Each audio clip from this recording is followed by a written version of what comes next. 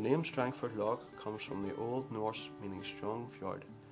It is a large, shallow sea loch situated on the east coast of County Down, Northern Ireland.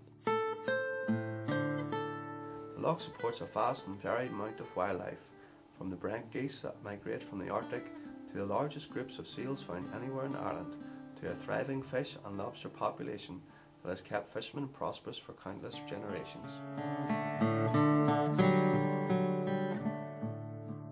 Perhaps the most interesting thing you'll find about the area is the local people and the characters you meet.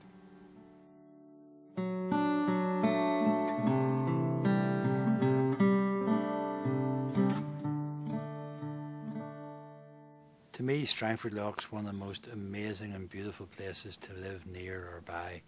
To wake up here in the morning on a boat just to watch the sunrise come up. Sometimes you'll hear the sails around the boat in the bay.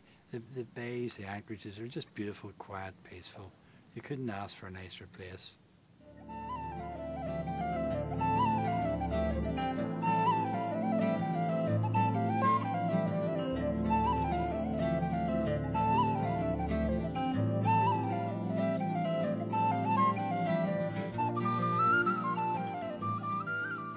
I'm very interested in wildlife of Strangford Lough, and one of the things I think you most interesting to know about why the area is so rich in, in wildlife is to do with the tides. There's so much water coming in and out that the currents are extraordinarily fast. You can get currents of about eight knots, that's eight sea miles an hour, and the volume of water is absolutely incredible.